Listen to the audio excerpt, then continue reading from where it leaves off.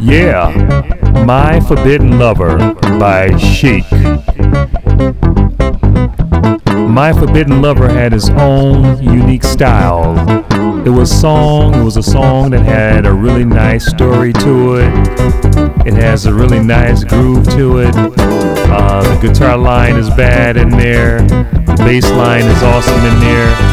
So I say is uh, that's another big hit by Chic.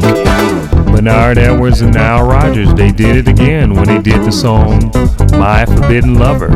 I mean, even Luther Vandross even took that song and actually did it his way, which was great. But My Forbidden Lover, we're going to listen to a little bit of that song.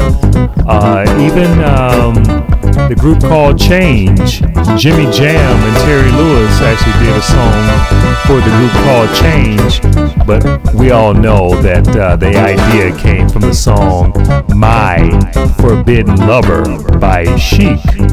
So we're going to listen to a little bit of uh, My Forbidden Lover by Chic, and we're also going to listen to a few more Chic songs. We're going to listen to Rebels Are We.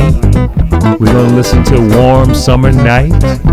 We're to listen to Savior Affair Savoir Faire. Uh, we're to listen to Good Times. We're to listen to My Feet Keep Dancing and a lot of more of Chic songs. All right. This is about Chic. This is the playlist that you're going to be playing, listening to all of the really cool, hip, chic songs.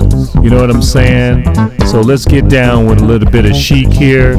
My Forbidden Lover, written by Nile Rodgers and Bernard Edwards. And um, let's go ahead and do this. All right.